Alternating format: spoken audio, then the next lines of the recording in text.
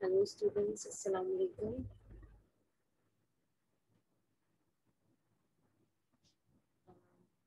आपको मेरी आवाज़ आ रही है।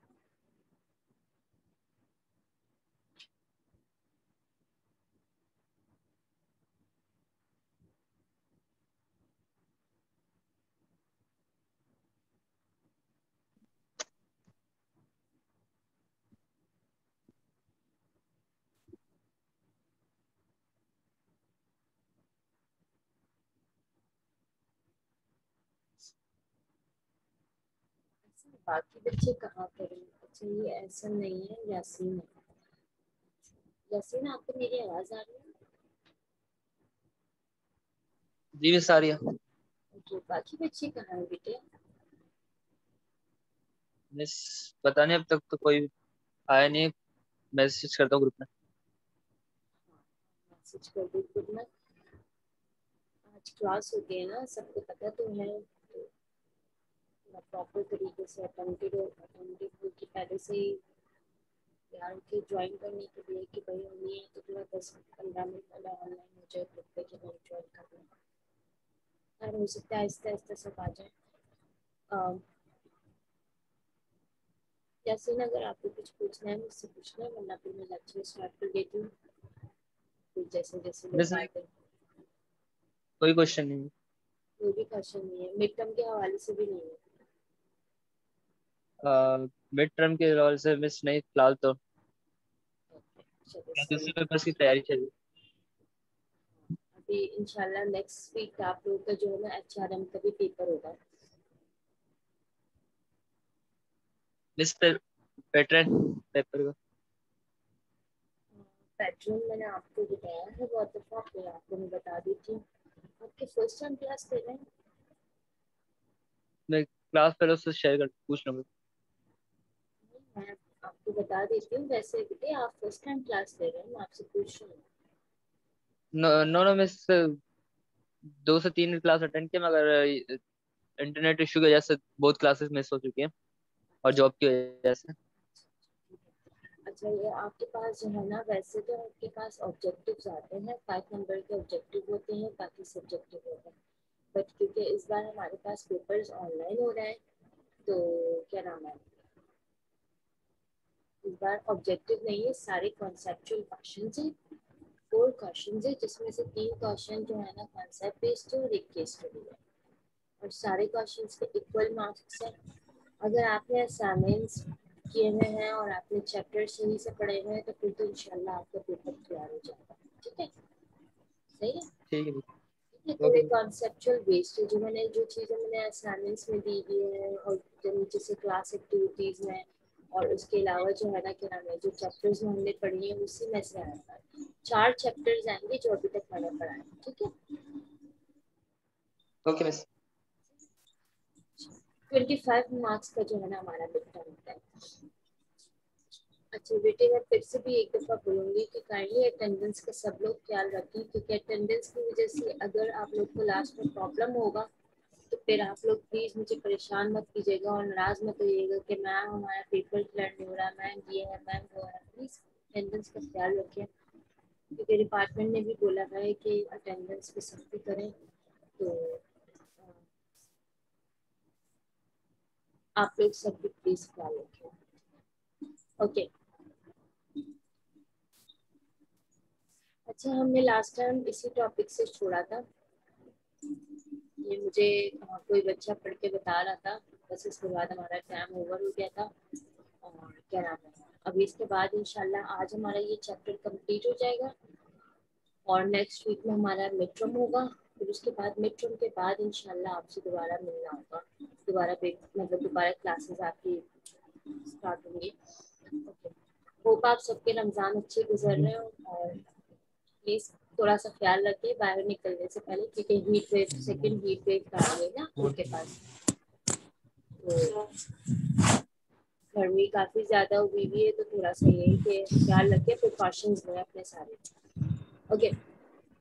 इन्फॉर्म करते हैं अपने फेलोज को कि क्लास स्टार्ट हो गई है ताकि सब लोग आस्ते आस्ते जल्दी जल्दी ज्वाइन कर लें।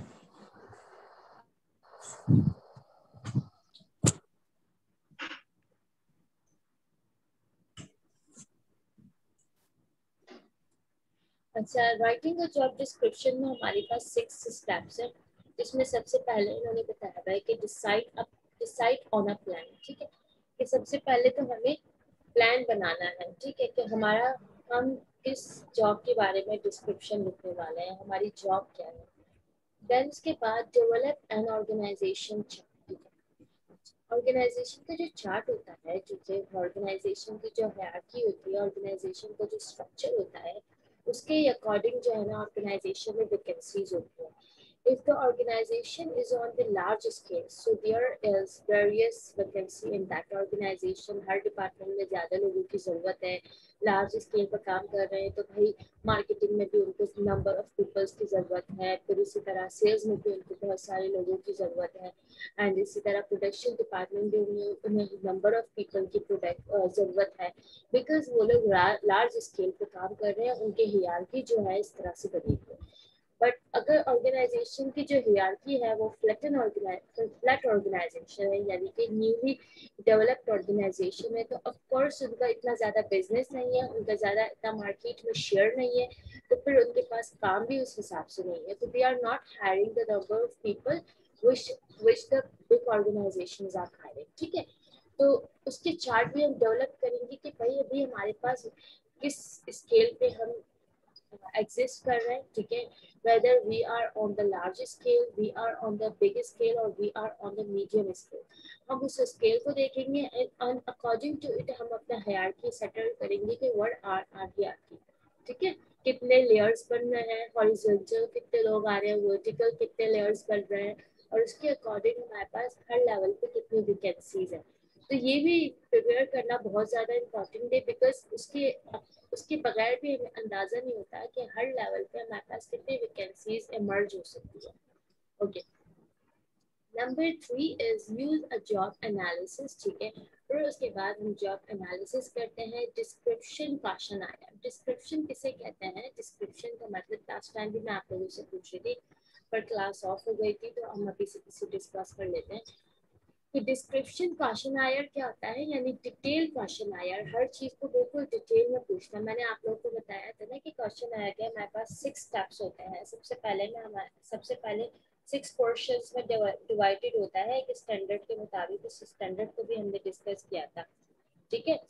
पोजिशन एनालिसिस क्वेश्चन आयर में हमने ये चीज़ डिस्कस की थी कि हमारे पास जो होता है, इसमें एट पोर्शन होते हैं। क्वेश्चन आए के फ़र्स्ट वन में हमारे पास जर्नल इंफॉर्मेशन आता है। सेकंड में हमारे पास रिलेशनशिप आता है कि ऑर्गेनाइजेशन में रिलेशनशिप्स क्या होंगे, कौन किसको रिपोर्ट करेगा और किससे कौन रिपोर्ट लेगा, ठीक है? To whom you do you report and who report to you ठीक है? ये दो चीज़ के आपका रिलेशनशिप है किसको आप सुपरवाइज करेंगे और कौन आपको सुपरवाइज करेगा। ये भी समझना बहुत ज़्यादा ज़रूरी है। And the third one is essential function यानी आपकी जॉब की ड्यूटीज़ एंड रिस्पॉन्सिबिलिटीज क्या होंगे? एंड उसके बाद फोर्थ पोर्शन में हमारे पास क्या आ, जा, आ जाता है कि एडिशनल जॉब इंफॉर्मेशन क्या हो सकते हैं। आपने अक्सर जॉब एड्स देखे होंगे, कुछ एलिजिबिलिटी दे देते हैं कि भाई इतनी आपकी क्वालिफिकेशन होगी, इतनी आपकी जो है ना जॉब जॉब रिस्पॉन्सिबिलिटी होती है और एडिशनल स्किल्स भी मान लेते हैं कि भाई आपको इसमें सर्टिफिकेशन होनी चाहिए। भाई आपकी टाइपिंग स्पीड इतनी होनी चाहिए। भाई आपको जो है ना राइटिंग में ये होता है, आपके आईलेट्स होने चाहिए, आपके एक्स्ट्रा प्रोजेक्ट मैनेजमेंट में सर्टिफिकेशन होनी चाहिए या एच आर एम में सर्टिफिकेशन होनी चाहिए। तो एडिशनल जॉब इंफॉर्मेशन भी होनी चाहिए, जो कि क्या नाम है भी इम्पोर्टेंट होता है कुछ पोस्ट के लिए। फिर फाइव में हमारे पास क्या होता है कि decision making and problem solving skills भी होनी चाहिए। डिपेंड करता है, ठीक है? ये वाला पोर्शन कब आएगा अगर हम टॉप मैनेजमेंट के लिए एग्जीक्यूटिव एग्जीक्यूटिव पोजीशंस के लिए हायरिंग कर रहे हैं। बट अगर हम लोअर लेवल के लिए हायरिंग कर रहे हैं तो वहाँ पर इतना ज़्यादा मैटर नहीं होता, क्योंकि वहाँ पर ज़्यादा हमें स्किल्ड एम्प्लॉय नहीं चाहिए होते, हमें अनस्किल्ड एम्प्लॉय की ज़रूरत होती है, उनको टेक्निकल स्किल्स पे जो है ना कमांड होना चाहिए। But if we are hiring for the higher position so we need a skill employ और we have to consider the judgment power and the problem solving power of the individual. ठीक है, जो भी हमारा होता है। And then we have six one जिसमें हमारे पास वर्किंग एनवायरनमेंट आ जाता है। ये एक्सप्लेन करना है कि वर्किंग एनवायरनमेंट क्या होगा। हम उसको किस तरह से वर्किंग एनवायरनमेंट देंगे? सेफ़ होगा। जैसे अगर फीमेल्स की बात की जाए तो उनके लिए वर्किंग इन्वायरमेंट इन बड़ा मैटर करता है कि भाई, एक फ्रेंडली इन्वायरमेंट हो जिसमें जो है ना, क्या नाम है, वो एग्जिस्ट कर सके। काइंडली ये जिसका भी स्पीकर खुला हुआ है इसको म्यूट कर ले। हम्म। जरा कौन है। इजाम इजाम ये स्पीकर काइंडली आप ऑफ़ कर दें ठीक है? मैम मेरा माइक तो नहीं है। मेरा माइक नहीं है मैम। नहीं नहीं मेरे ख्याल से कोई बर्ड है बर्ड कोई बर्ड पीछे से शोर कर रही है। मम्मी हसन खान के पास से आवाज़ आ रही है। अच्छा बेटे मतलब जिसके घर में खामोशी है तो वो तो कोई मसला नहीं है, पर अगर बैकग्राउंड में शोर है तो आप तो प्लीज़ म्यूट कर लें ऑल ओवर क्लास सब सब लोगों को डिस्टरबेंस हो रही है ना? कितना अनोइंग होता है, आपको पता है, मैं तो फ्री लगा के और उस तरह तो मेरे बिल्कुल डायरेक्ट कान में आवाज़ आती है तो मुझे काफ़ी वो अनप्लेजेंट लगता है, ठीक है? तो मैं फोकस्ड मेरा नहीं रहता कि मैं क्या पढ़ा रही हूँ, और शोर की वजह से डिस्ट्रैक्शन होती है। और वैसे भी जो भी बच्चे इसे बाद में सुनेगा रिकॉर्डेड सेशन है तो उसको भी इशू होगा कि बीच में क्या नॉइसेज आ रही है, क्योंकि वो आवाज़ क्लियर नहीं जाएगी ना बच्चे को। ओके देन इसके बाद सेवन में हमारे पास मिनिमम क्वालिफिकेशन यानी मिनिमम क्वालिफिकेशन क्या होनी चाहिए, और एट में हमारे पास प्राइमरी पर्पज ऑफ़ हायरिंग क्या है, ठीक है? तो ये हमारे पास क्या हो गया डिस्क्रिप्शन क्वेश्चन आयर हो गया। देन इसके बाद हमारे पास फोर्थ स्टेप में क्या है obtain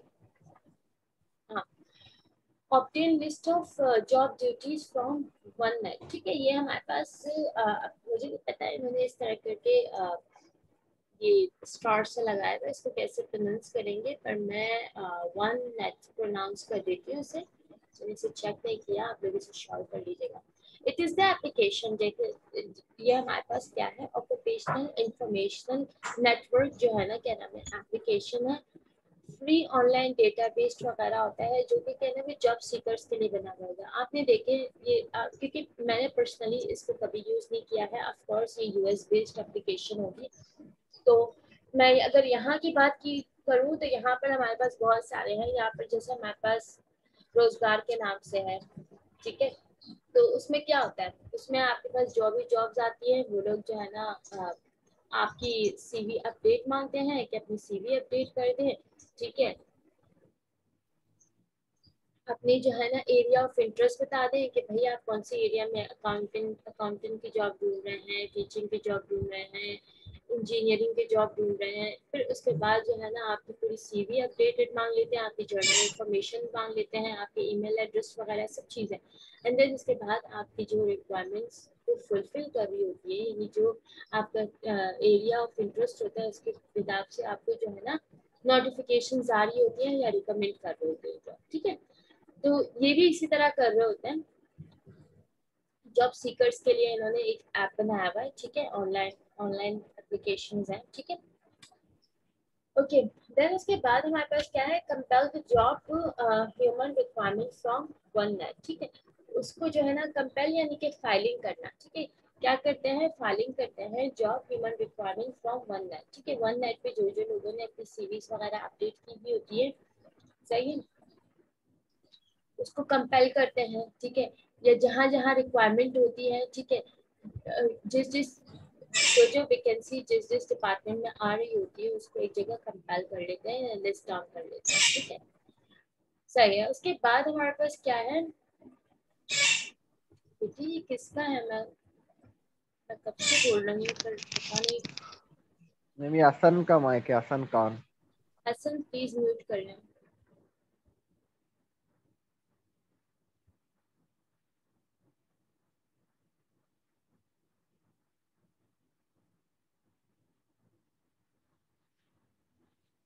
ओके देन उसके बाद सिक्स में हमारे पास आ जाता है complete your job description complete यानी जॉब डिस्क्रिप्शन को कंप्लीट कर लेना। में अच्छा उसके बाद हम नेक्स्ट इस पे चले जाएँगे। ऑलमोस्ट हमारा डिस्क्रिप्शन वाला टॉपिक भी हो गया एंड स्पेसिफिकेशन वाला भी हो गया। इंशाल्लाह बस अब ये लास्ट टॉपिक ही इसका रह गया। इसके बाद हमारा ये चैप्टर ही कंप्लीट हो जाएगा। अब उन्होंने क्या लिखा हुआ है? Job analysis in a jobless world ठीक है। अच्छा। अब मुझे बताएँ कि जॉबलेस वर्ल्ड क्या होता है? What is, what do you mean by this statement job analysis in a jobless world? Please feedback.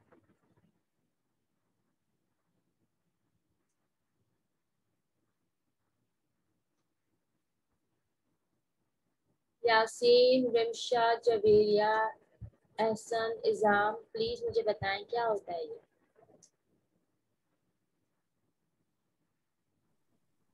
Ma'am यानी कि इसका ये मतलब हो सकता है कि वर्ल्ड में जॉब कम है अभी जैसे कि जॉबलेस यानी जॉब नहीं है इस जॉबलेस वर्ल्ड में हम जॉब को एनालाइज कैसे कर सकते हैं? तो इस चीज़ के बारे में बताओ। अच्छा तो जॉब जॉब क्यों कम है? रीजंस क्या है मैम बहुत सारे रीजन हो सकते हैं। एक तो पॉपुलेशन की वजह से भी हो सकता है जैसे कराची में पॉपुलेशन बहुत ज़्यादा है इस वजह से भी जॉब कम है। और क्या रीजन हो सकता है? हम्म, और मैम वो स्किल और अनस्किल एम्प्लॉयड का बता रहे किसी जगह स्किल एम्प्लॉयड की ज़रूरत है तो इस वजह से भी जॉब कम हो सकते हैं। क्योंकि किसी के पास नहीं स्किल नहीं है। अच्छा और इसके अलावा? इसके अलावा तो अभी जहन में कुछ नहीं आ रहा। वेरी गुड आपने जो भी बताया आई अप्रिशिएट इट ठीक है। आपका आंसर एक्यूरेट नहीं है, पर आपने फिर भी अच्छा बताया, और क्या नाम है? पार्टिसिपेट किया। एग्ज़ाम ऑल ओवर आपका कॉमन सेंस और नॉलेज अच्छा है, आप अच्छे से आंसर कर लेते हो चीज़ों को। बट इसको अगर आप और ज़्यादा पढ़ोगे ना तो आपका और ज़्यादा जो परसेप्शन है इसको लेके मतलब और ज़्यादा ब्रॉड हो जाएगा और अंडरस्टैंडिंग क्रिएट होगी। अच्छा और कोई मुझे बताएगा?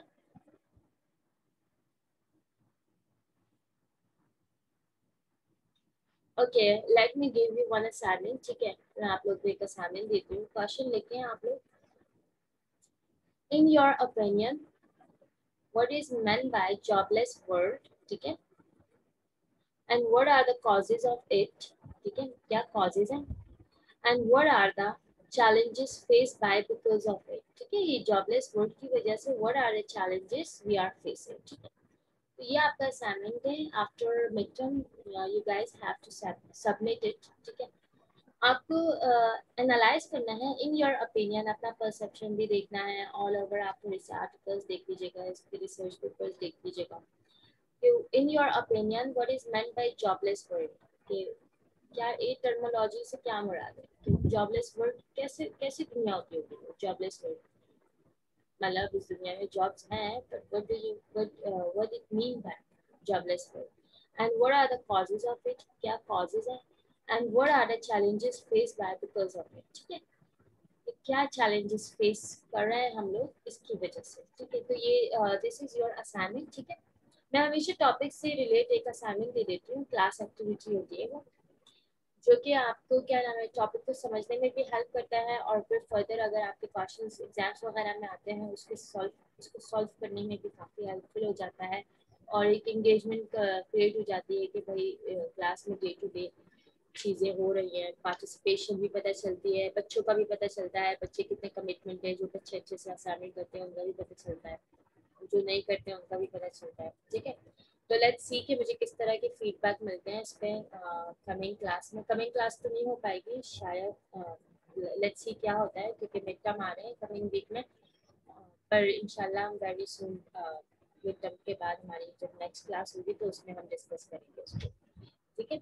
अच्छा इसमें जो सबसे पहले हेडिंग इन्होंने दी हुई है जॉब की दी हुई है। और इन्होंने बहुत बेसिक सी डेफिनेशन लिखी है। जॉब क्या होता है? Generally defined as a set of closely related activity carry out for pay ठीक है? यानी क्लोजली रिलेटेड एक्टिविटीज़ यानी कि सेम स्किल या सेम सेट ऑफ़ स्किल्स की जो एक्टिविटीज़ होती है तो कोई भी इंडिविजुअल जो परफॉर्म कर रहा होता है for work purpose for payments ठीक है? For salary for bonuses for perk ठीक है? ये थोड़ी, उन्होंने थोड़ी सी नैरो डेफिनेशन लिखी है।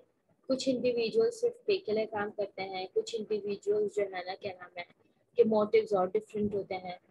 जैसे कि एक fresh graduate some time financial crisis की वजह से भी काम कर रहा होता है बिकॉज़ फाइनेंस फाइनेंशियल इश्यूज़ भी होते हैं। But most of the time they are working for getting experience ठीक है? ठीक है एक्सपीरियंस के लिए भी काम कर रहे होते हैं बिकॉज़ इन फ्यूचर अगर वो किसी बड़े पोजिशन पे जाना चाहते हैं तो on that position the uh, organization is demanding for तो कहीं ना कहीं से स्टार्ट लेना होता है और दे हैव टू स्टार्ट ठीक है? ज़ीरो पॉइंट से स्टार्ट करना पड़ता है तो कुछ लोग इसलिए भी करते हैं। कुछ लोग एक्सपीरियंस के लिए कुछ लोग कैरियर प्रोग्रेस के लिए कुछ लोग कैरियर इन्हेंसमेंट के लिए डेवलपमेंट के लिए लर्निंग के लिए सेट ऑफ़ स्किल्स सीखने के लिए।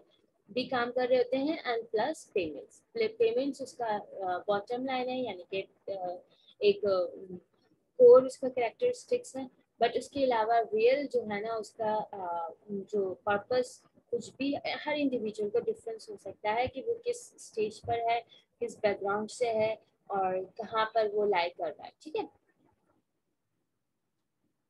तो आपने देखा होगा कि बहुत सारे जैसे कि जॉब्स होती हैं, उनमें पे बड़ा नॉर्मल दे रहे होते हैं, पर है, कोई भी इंडिविजुअल जो कि इतना स्किल्ड नहीं होता, या जो भी उसका इतना एक्सपीरियंस नहीं होता है मार्केट में नया होता है उसको पता नहीं होता चीज़ों को किस तरह से हैंडल करना है, क्या ट्रेंड है, क्या नहीं है, वो एग्री हो जाता है उस जॉब के लिए।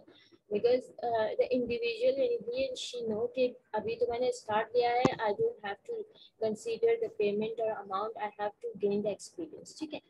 तो ये प्रेफरेंसेस होते हैं, ठीक है? तो इन्होंने कैरी आउट फॉर पे लिखा है बट यहाँ पर बहुत सारी चीज़ें हो सकती हैं, ठीक है?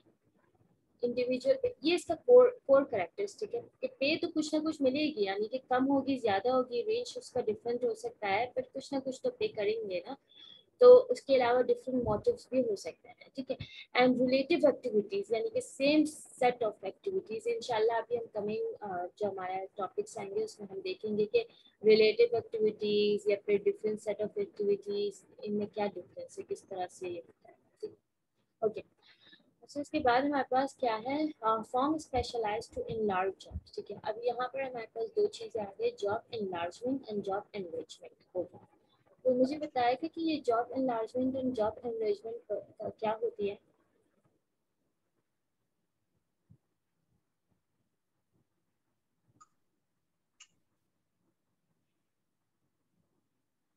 देखिए, बता दिया करें। देखिए, मैं आपको हमेशा ये बोला है कि कोई भी चीज़ गलत या सही नहीं होती, आपका ओपिनियन मैटर करता है।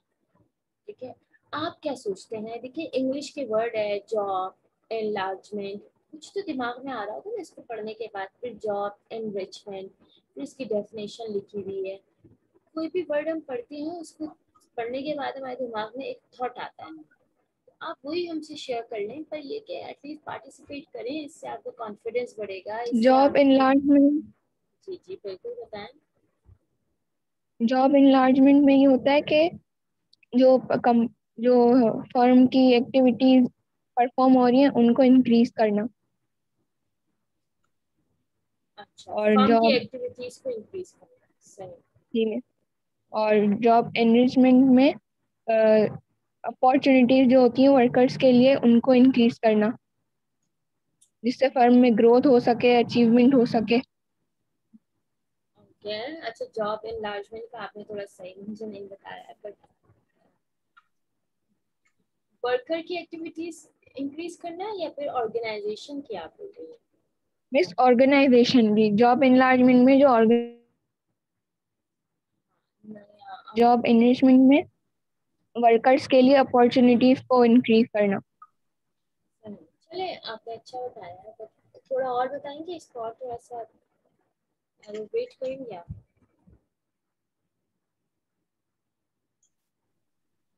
मिस मुझे तो इतना ही समझ आया मैंने बता दिया। चले थैंक यू सो मच आपका नाम क्या है? Tajim Tanzeem thank you so much I appreciate it okay और कोई बताएगा मुझे?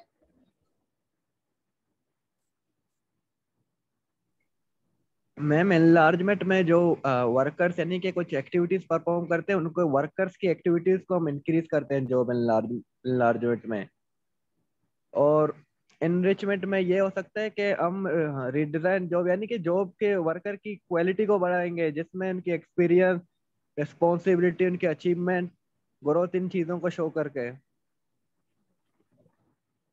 वैसे कभी इससे पहले ये वर्ड पढ़े हैं या कभी कहीं पे पढ़ा है इसको मतलब इन वर्ड्स को फ़र्स्ट टाइम सुनने में आ रहा है मतलब फ़र्स्ट टाइम आप लोग देख।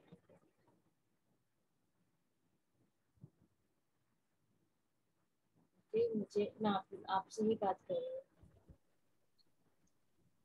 मैम देखे तो है इनलार्जमेंट आई थिंक पेनिट्रेशन फैलाने को कहते हैं किसी चीज़ को। Enrichment?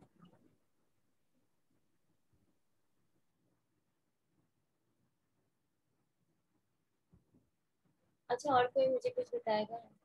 जवेरिया अंसर रिमशा। इनमें से किसी ने भी कोई कुछ भी फीडबैक नहीं दिया मुझे।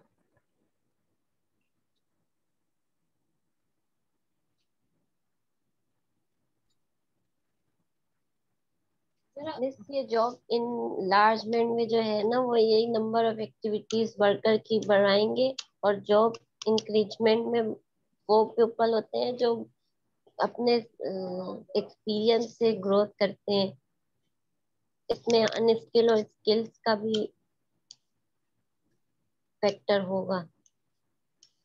इस तरह से होगा जॉब इनलार्जमेंट में वो सेम एक्टिविटीज़ करते रहते हैं जैसे लेबर्स करते हैं और जॉब इनलार्ज इन इनरिचमेंट में जो डिसीज़न लेते हैं कंपनी के लिए वो शायद है।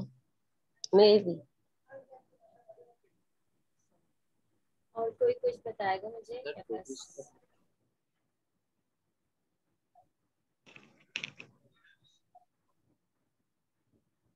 मैम जॉब एनरिचमेंट में ये भी हो सकता है कि एम्प्लॉयर को उसकी रिस्पॉन्सिबिलिटी बताता है कि आपको ये काम करना है आपको ये गोल ऑर्गेनाइजेशन का अचीव करना है। हाँ है। और जॉब एनरिचमेंट में? मैम मैं ये जॉब एनरिचमेंट का कह रहा था कि इसमें जो वर्कर होता है उसको उसकी रिस्पॉन्सिबिलिटी बताते हैं कि ये आपकी रिस्पॉन्सिबिलिटी है और और ये आपने अचीव करना है यानी कि ये आपका गोल होना चाहिए। और इनलार्जमेंट में फिर क्या होता है? अगर एनरिचमेंट में आप ये बता रहे हैं मैम इनलार्जमेंट में ये हो सकता है कि हर वर्कर की एक स्पेसिफिक ड्यूटी होती है कि आपने ये एक्टिविटी परफॉर्म करनी है।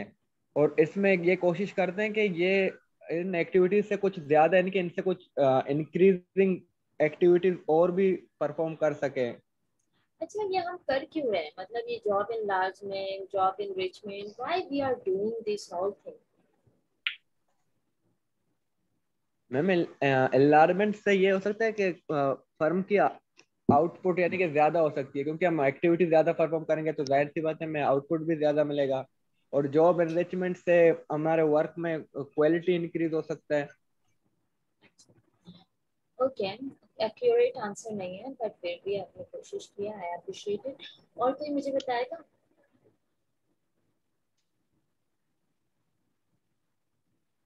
इदरीस इदरीस अभी आए। बेटी क्लास की पंक्चुअलिटी क्या करें आप लोग? प्लीज़ प्लीज़ ये आप लोग का लर्निंग फ़ेज़ है। यहाँ से आप लोग की फाउंडेशन बनेगी। इनफैक्ट इससे पहले बननी होती है, पर चलो अगर आप लोग यहाँ से भी स्टार्ट करते हैं तो भी इतनी देर नहीं होगी। अभी अभी अभी भी आप लोग छोटे छोटे हैं, ठीक है? इतनी ज़्यादा एज नहीं हुई है अभी भी आप लोग की सीखने की उम्र है तो please try to do the punctuality और अपनी रिस्पॉन्सिबिलिटी समझे इस डिग्री को। ठीक है? सिर्फ़ डिग्री लेने के हद तक नहीं क्लासेस को लेने क्लासेस में प्रेजेंस होनी चाहिए कॉन्सेप्ट क्लियर होनी चाहिए टेक्स्ट बुक पढ़ा करें रीडिंग से बहुत ज़्यादा फ़ायदा होता है। निज़ाम आप मुझे बताएँ, आप रीडिंग वगैरह करते हैं? यस मैम करता हूँ लेकिन बहुत कम। बहुत कम करते हैं। मतलब कितनी करते हैं आप? मैम ऑलमोस्ट एक घंटा दिन में। एक घंटा तो ये एक घंटा फिक्स्ड होता है आपका? मतलब एक घंटा रोज एक मतलब रूटीन है या फिर वैसे कब भी कर लिया मतलब? मैम रूटीन तो नहीं होता, लेकिन डेली करता हूँ, कभी कुछ ज़्यादा करता हूँ, कभी एक घंटे से ज़्यादा, कभी कम।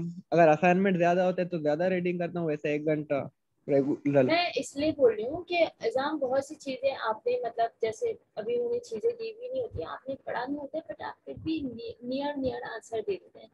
तो देखिए, अल्लाह ताला ने सब लोगों को ये एबिलिटी दी हुई होती है बट थिंग ये होता है कि जब हम चीज़ों को पढ़ते हैं तो हमारी ब्रेन स्ट्रॉमिंग हो जाती है। हमारे दिमाग में चीज़ें होती हैं तो हमें हम चीज़ों को रिलेट करते हैं और हमारे दिमाग में आइडियाज़ आ जाते हैं कि अच्छा ये इस तरह से हो सकता है। तो हमारी नॉलेज अच्छी होती है तो मैं शायद मुझे लगता है कि शायद आप रीडिंग करते हैं। मुझे नहीं पता कि ऑल ओवर किस तरह से आपका है।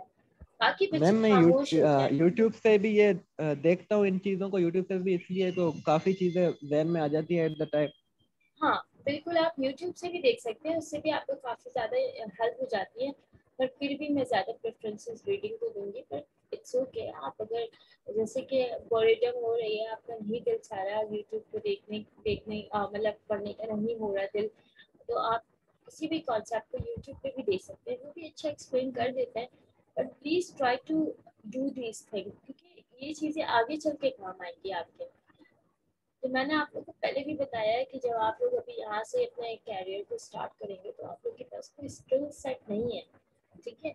आप लोग के एकेडमिक के बेसिस पे ही आप लोग को प्रेफरेंसेस मिलेगी, ठीक है? तो उसी से आप लोग की जो है ना, आप लोग की जजमेंट होगी, आप लोग को एनालाइज किया जाएगा एंड देन उसके बाद जब आप लोग का एक टाइम आएगा, जब आप लोग का एक्सपीरियंस गेन हो जाएगा देन उसके बाद आप लोग का एक्सपीरियंस काउंट करेंगे नेशनल बेस पे तो बच्चे की एकेडमिक्स ही देखी जाती है।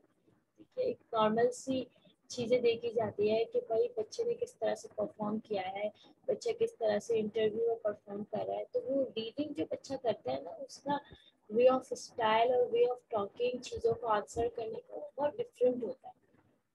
तो बाकी बच्चे भी प्लीज़ पार्टिसिपेट क्या करें? ये तंजीला ने भी पार्टिसिपेट किया, एग्ज़ाम ने किया, ठीक है एसर ने थोड़ा सा किया, ठीक है? मुझे नाम याद हो जाते हैं जो लोग पार्टिसिपेट करते हैं, पर जो नहीं करते उनके, उनसे ये रिक्वेस्ट है कि काइंडली पार्टिसिपेट क्या करें। अच्छा मैं बता देती हूँ। ये हम job enlargement and job enrichment हम क्यों यूज़ कर रहे हैं? क्या ज़रूरत पड़ी है हमें ये सब करने के लिए? क्योंकि सिर्फ़ हायरिंग नहीं होती, ठीक है? एग्ज़ाम में मुझे बताया कि उनके कंपनी के आउटपुट को इंक्रीज करने के लिए यूज़ हो सकता है। कंपनी का आउटपुट कैसे इंक्रीज होगा? कंपनी का आउटपुट सिर्फ़ एक ही कंडीशन में इंक्रीज हो सकता है, जो वहाँ का ह्यूमन कैपिटल है, वो प्रोडक्टिव होगा, वो एफिशिएंट होगा, वो इफ़ेक्टिव होगा तो ऑटोमेटिकली जो कंपनी का आउटपुट है, वो इंक्रीज होगा। क्योंकि company itself is non living thing वो कुछ भी नहीं है कंपनी कुछ नहीं है।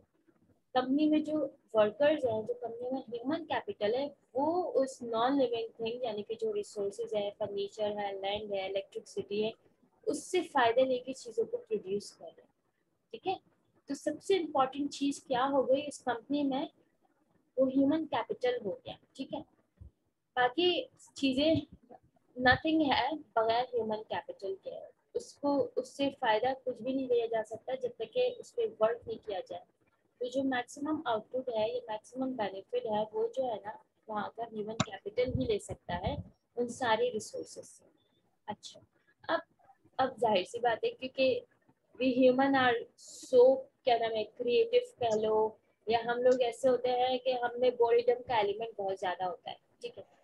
हम हम चीज़ों को जो है ना क्या नाम है हम्म, एक ही चीज़ को हम कांस्टेंट तरीके से नहीं कर पाते हमें होता है हम हम एक ही चीज़ को रिपीटेटिव टाइम करते हैं तो हमें एक टाइम के बाद उससे दिल उठ जाता है कि भाई अब मोटिवेशन ही नहीं रहती है ठीक है? तो ये जो हमारे पास जॉब इनलार्जमेंट है, ये जॉब इनरिचमेंट है, आगे हम जॉब रोटेशन भी पढ़ेंगे, ये हम क्यों करते हैं? ये हम मोटिवेशन और सेटिस्फैक्शन ऑफ़ एम्प्लॉय को बढ़ाने एम्प्लॉय की सेटिस्फैक्शन एंड मोटिवेशन को इंक्रीज करने के लिए। ठीक है? This is the technique to increase the motivation and satisfaction of employ ठीक है? तो जब उसकी मोटिवेशन और सेटिस्फैक्शन इंक्रीज होगी तो एम्प्लॉय क्या होगा? सस्टेन रहेगा। ठीक है? जब एम्प्लॉय सस्टेन रहेगा तो टर्न ओवर कम होगा। जब टर्न ओवर कम होगा तो अल्टीमेटली ऑर्गेनाइजेशन के बहुत सारे पैसे बचेंगे। ठीक है? तो ये इसलिए किया जाता है। अच्छा अब इन दोनों का डिफरेंस क्या है? हम बेसिक डेफिनेशन को देखने के बाद इस पर जर्नल डिस्कशन कर लेते हैं। अच्छा जॉब इनलार्जमेंट क्या है? Assigning worker additional same level activities अभी ऊपर हमने क्या बोला था कि रिलेट एक्टिविटीज़ जॉब के रिलेट एक्टिविटीज़ तो ये भी कह रहे हैं सेम लेवल एक्टिविटीज़ यानी कि सेम नेचर के एक्टिविटीज़ होती हैं, इसमें हमें एडिशनल स्किल्स नहीं रिक्वायर्ड होते हैं, ठीक है? Thus increasing the number of activities they perform ठीक है? दस नंबर ऑफ़ एक्टिविटीज़ को बढ़ा देते हैं, ताकि भाई एक चीज़ कर रहे हैं, कर रहे हैं, कर रहे हैं, उसके साथ एक चीज़ उसी नेचर की एडप कर ली कि भाई एक एम्प्लॉयर की थोड़ी motivation different nature of work से बढ़ जाए कि आप, अब तुम्हें ये भी करना है। ठीक है, ये ये भी करना है मेल या फीमेल जो भी इंडिविजुअल है। और जॉब इनरिचमेंट में क्या आता है? Redesigning job in a way that increase the opportunity for the worker यानी कि जॉब को इस तरह से रीडिजाइन करना, जो कि वर्कर के लिए अपॉर्चुनिटीज़ इंक्रीज कर ले to experience the feeling of responsibility responsibility की फीलिंग को इंक्रीज करें अचीवमेंट की ग्रोथ की एंड रिकॉग्नाइजेशन की, ठीक है। अब ये तो बुक इस डेफिनेशन हो गई हमारे पास जो सामने लिखी हुई है। अच्छा अब हम इसको थोड़ा सा और एनालाइज कर लेते हैं कि इसमें क्या क्या चीज़ होती है। अच्छा जॉब इन्वेस्टमेंट में हमारे पास क्या आती है? ड्यूटीज़ हमारे पास हॉरिजेंटल एक्सपेंशन होती है। ठीक है आपको ये तो पता है ना हॉरिजेंटल और वर्टिकल क्या होता है? पता है मुझे? पता है ना आप लोग को हॉरिजेंटल एंड वर्टिकल क्या होता है? ओके हॉरिजेंटल यानी कि लाइक दिस इधर इस तरह एक्टिविटीज़ बढ़ गई आपकी, यानी कि एट द सेम लेवल आपकी एक्टिविटीज़ बढ़ गई। जॉब इनरिचमेंट में क्या होती है, हमारे पास वर्टिकल एक्सपेंशन होती है, ठीक है? यानी वर्टिकल एक्सपेंशन होती है उसमें, ठीक है? ये इसका डिफरेंस मैं बता रही हूँ, दोनों में क्या क्या चीज़ें सिमिलर है क्या क्या डिफरेंट है। अच्छा जॉब इनलार्जमेंट में किन लोगों के लिए की जाती है, जो सेमी स्किल्ड पीपल होते हैं या अनस्किल्ड एम्प्लॉयड होते हैं, ठीक है? जबकि जॉब इनरिचमेंट किन लोगों की की जाती है जो स्किल्ड एम्प्लॉयड होते हैं? यानी कि जो हमारे पास टॉप लेवल के लोग होते हैं, ठीक है? एंड उसके बाद क्या होता है? समटाइम जो जॉब इनलार्जमेंट होती है, उसको मिस इंटरप्रेट किया जाता है जॉब लोड से भी। बिकॉज़ आपने उनकी ड्यूटीज़ तो बढ़ा दी है, और ऐसे उनकी जो है ना, क्या नाम है सैलरी में या पढ़ के बोनसेस में इंक्रीज नहीं लाए, ठीक है? बस उनकी एक एक और एडिशनल रिस्पॉन्सिबिलिटी बढ़ा दी। जबकि जॉब एनरिचमेंट को किस तरह से परसीव किया जाता है as a reward of good work जब कोई कोई अच्छी परफॉर्मेंस हो रही है, कोई अच्छा परफॉर्म कर रहा है, उसके, कि भाई आप इतना अच्छा परफॉर्म कर रहे हैं, कोई चीज़ एडिशनल दे दी कि भाई ये आपको एक एडिशनल चीज़ दे रही है तो एक रिवॉर्ड के तौर पर इसको परसीव किया जाता है। और क्यों किया जाता है? बोरिडम को दूर करने के लिए, क्योंकि रिपीटेटिव टास्क होता है, उसका रैंडम ख़त्म करने के लिए कि भाई अब आप, क्योंकि एक ही चीज़ को बार बार करने से बॉडीडम हो जाती है ना?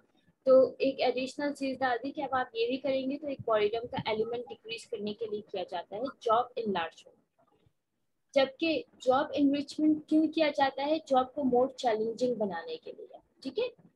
एंड रिस्पॉन्सिबिलिटीज जॉब इनलार्जमेंट में सेम रहती है जॉब इनरिचमेंट में रिस्पॉन्सिबिलिटीज इंक्रीज हो जाती है। अच्छा level of authority job engage enlargement में सेम रहती है और जॉब इनरिचमेंट में क्या हो जाती है? डिक्रीज हो जाती है। अच्छा जॉब इनलार्जमेंट में हमारे पास क्या कर रहे होते हैं? सुपरवाइज कर रहे होते हैं और जॉब इनरिचमेंट में हम सेल्फ डायरेक्टेड होते हैं, ठीक है? क्योंकि ये स्किल्ड एम्प्लॉयड होते हैं ना स्किल लोगों के लिए होता है तो ये सेल्फ डायरेक्टेड होते हैं, इनको ऐसे डायरेक्शन की ज़रूरत नहीं होती। जबकि जॉब इनलार्जमेंट में क्या कर रहे होते हैं? सुपरविजन का एलिमेंट हमेशा रहता है। तो ये कुछ थोड़े से डिफरेंसेस हैं जिसकी वजह से आप लोगों का थोड़ा सा और कॉन्सेप्ट क्लियर हो जाएगा इसको लेके। और ज़्यादा और अच्छी अंडरस्टैंडिंग होगी कि बेसिकली ये क्यों किया जाता है। अगर किसी को कोई क्वेश्चन पूछना है तो प्लीज़ मुझसे पूछ लें।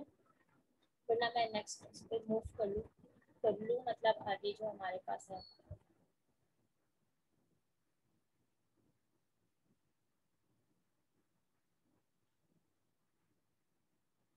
किसी को कुछ भी नहीं पूछना।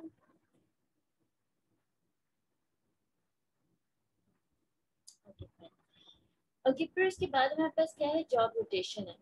अच्छा जॉब रोटेशन से ही आपको पता चल रहा होगा। आपने देखा होगा, जैसे आप लोग के फादर्स जिनके फादर्स जॉब कर रहे होंगे, हर हर किसी के फादर कहीं ना कहीं तो जॉब कर रहे होंगे। बहुत कम बच्चों के भी फादर रिटायर्ड हुए भी होते हैं। सबके कोई ना कोई जॉब कर रहे होता है। गवर्नमेंट है प्राइवेट है रोटेशन होती है। एरिया शिफ्ट कर देते हैं। पहले इस ब्रांच में काम कर रहे हैं, फिर दूसरे में भेज देते हैं। क्यों करते हैं इस तरह से? आप मुझे बताएँ।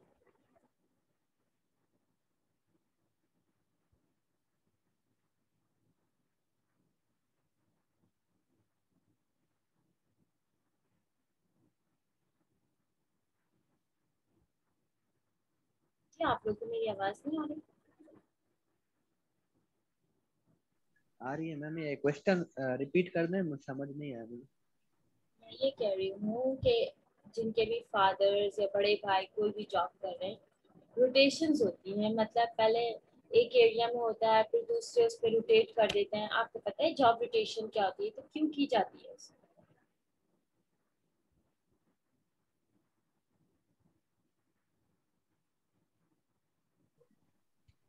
ऐसा भी हो सकता है किसी एक एम्प्लॉय यानी कि इस डिपार्टमेंट से उसको स्विच करके दूसरे डिपार्टमेंट में यानी मूव कर देते हैं। ये देखने के लिए कि कौन से डिपार्टमेंट में वो पर्सन या जो एम्प्लॉय जॉब कर रहा है वो फिट रह सकता है। कि कौन से डिपार्टमेंट में इसकी यानी कि वर्क रेट अच्छा हो सकता है। तो यहाँ लिखा हुआ है कि हम इसके स्ट्रॉन्ग और वीक पॉइंट को भी आइडेंटिफाई कर सकते हैं उस एम्प्लॉय के। हाँ बिल्कुल सही बोल रहे हैं और इसके अलावा